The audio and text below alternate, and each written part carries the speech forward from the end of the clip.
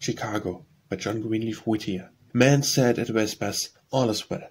And one wild night the city fell, Fell shrines of prayer and marts of gain Before the fiery hurricane.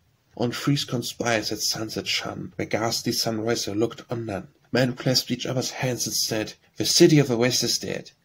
Brave hearts of fort and slow retreat, With fiends of fire from street to street, Turned, powerless, to the blinding glare, The dumb defiance of despair.